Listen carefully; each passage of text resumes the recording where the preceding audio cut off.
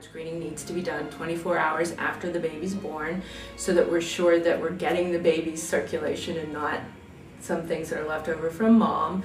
We do the newborn screening, it's sent to one of the laboratories. The G6PD test is now done on a DNA based basis. They look at five common mutations that are seen in the G6PD gene, and when they report out an abnormal result, they're going to tell us whether they see one or sometimes two different changes in the G6PD gene. So when we see the child back in clinic, which is usually within a few days of when we get notification of those results, one of the first things we want to look at, which would be a trigger that they may be already having some complications because of G6PD, would be the jaundice or the yellowing of the skin. So if they do come in and they are jaundiced, then there's a little bit more concern that that may be related to their condition. The important thing to know is people can go their whole lives and never have any kind of effects, adverse effects from having G6PD.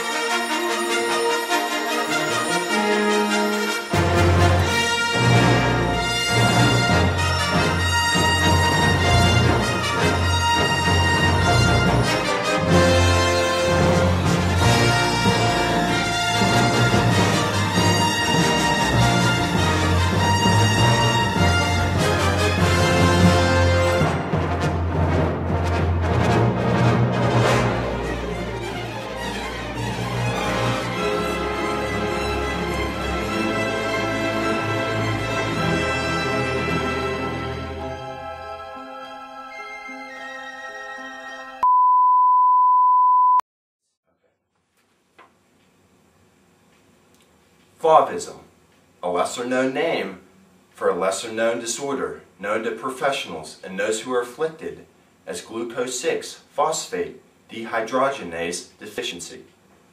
This genetic disorder, while not limited to one race, most commonly affects African American males, up to 10% of them, and people of Mediterranean descent.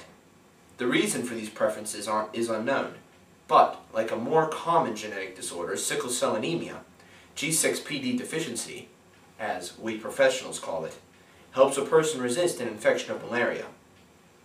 This reason has been cited as why African Americans are more commonly affected.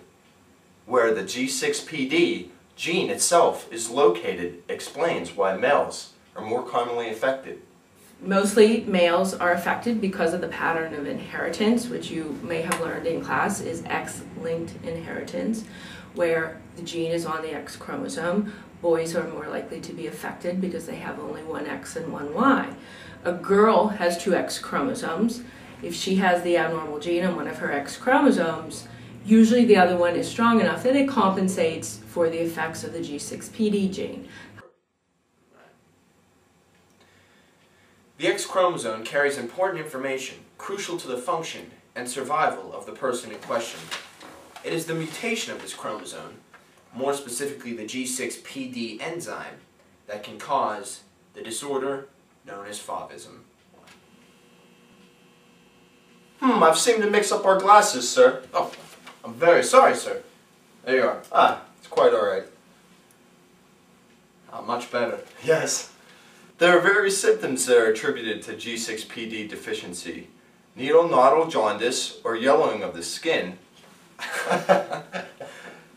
is among the many, and a large spleen, abdominal or back pain, gallbladder stones, a low number of red blood cells, and dark Pepsi, or tea-colored urine, are signs of disorder as well.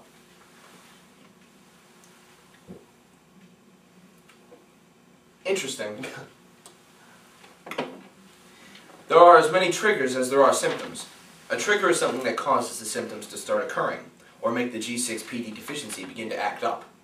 Triggers include red, red blood cell stress from infections or severe trauma, certain medications that include but are not limited to ibuprofen, Motrin, Aleve, some antibiotics and some cancer medications, Chinese herbal medicines, mothballs, and fava beans, which give our disorder the name Favism.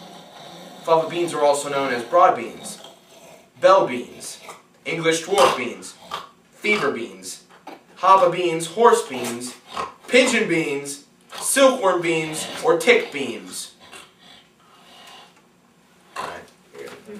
five different classes of uh, G6PD variants, and that's something people decided a long time ago how to classify them based on enzyme activity and as well as prevalence in certain populations. So there is a type of G6PD, for instance, that has greater than 150% of normal activity, which is the total opposite of what you would think. Normally, with enzyme problems, you think of deficiencies, but there's a type where it can be triggered by an excess of enzyme activity, but it's extremely rare. It's not one of the ones you would see commonly in the African American population. There are some that, uh, there's one particular type called type 3 that's the one that's most common in African American individuals, and that's one that occurs about 10% of the time. So most of the patients that we see that have been ascertained through newborn screening are those that have type 3.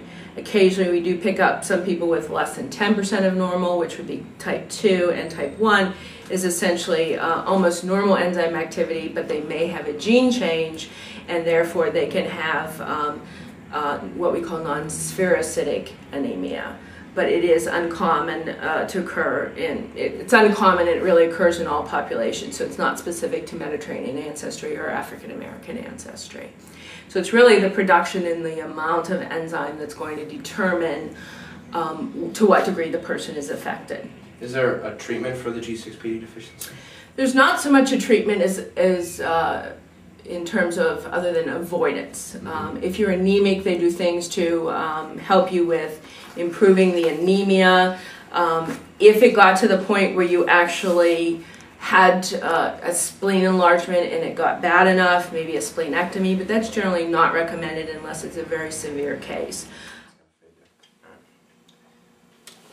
There is no cure for the G6PD deficiency, but there are ways of treatment. Prompt recognition and treatment of the infections is possibly the best treatment that you can have. You can avoid certain medications like the ones I listed earlier, ibuprofen, Aleve, and things such as that.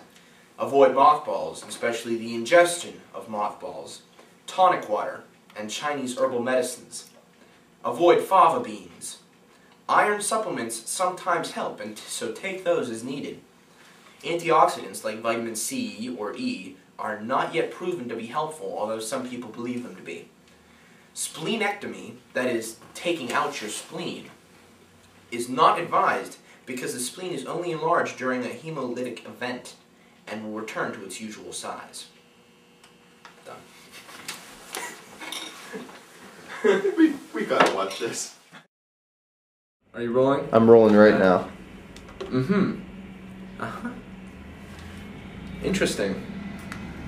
Couple. Oh, I understand. Nod heads. Yeah. Uh huh. Perfect.